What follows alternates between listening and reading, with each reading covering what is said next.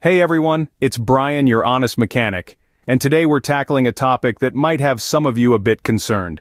What to do when your check engine light comes on, but your car seems to be running just fine.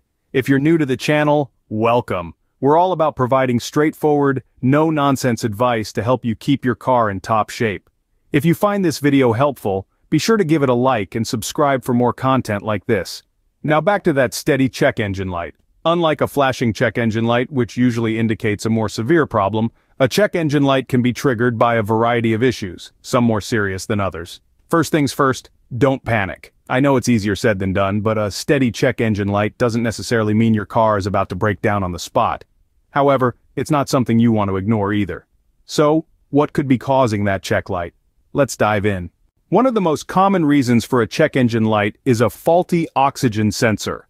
As I mentioned in my video about flashing check engine lights, oxygen sensors monitor the amount of unburned oxygen in your exhaust system. If they start to fail, they can cause your car to run less efficiently, leading to reduced fuel economy, and potentially even damage to other components like your catalytic converter. Another potential culprit is a loose or faulty gas cap. I know it seems too simple to be true, but a gas cap that's not properly tightened or sealing can trigger that check engine light. If you've recently filled up your tank, try tightening or replacing your gas cap and see if the light goes off after a few drive cycles. Mass airflow sensor issues can also cause a steady check engine light.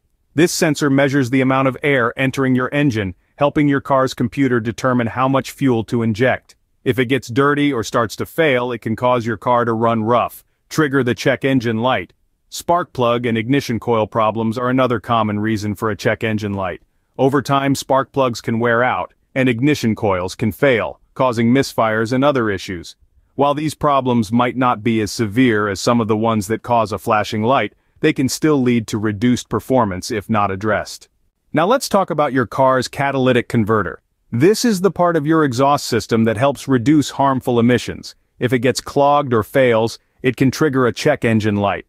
While a faulty catalytic converter might not cause noticeable performance issues right away, it can lead to more serious problems down the line if not fixed. Evaporative Emission Control System, EVAP, issues can also cause a check engine light to come on while your car drives just as well. The EVAP system is designed to capture fuel vapors from your gas tank and prevent them from escaping into the atmosphere. If there's a leak in this system or if one of its components fails, it can trigger the check engine light. Finally, Let's talk about your car's throttle position sensor. This sensor monitors the position of your throttle and helps your car's computer determine how much fuel to inject. If it starts to fail, it can cause a check engine light. So, what should you do if you're faced with a steady check engine light? First, if you feel comfortable doing so, check your gas cap to make sure it's tight and sealing properly. If that doesn't solve the problem, your next step should be to have your car's diagnostic trouble codes read by using an OBD scanner if you have one. If not, it's best to take your car to a professional mechanic. Most auto parts stores will read your codes for free, but keep in mind that these codes are just a starting point. They can tell you which system is triggering the light, but they won't necessarily pinpoint the exact problem. That's where a skilled mechanic comes in. A professional can use the trouble codes, along with their knowledge and diagnostic tools, to figure out exactly what's causing that check engine light.